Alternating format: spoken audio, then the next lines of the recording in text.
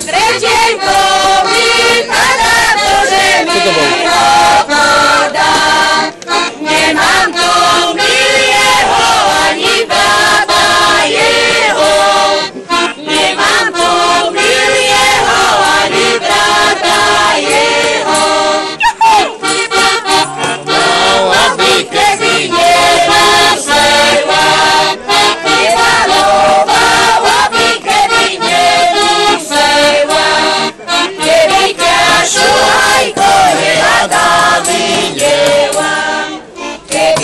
Yeshua i koniec na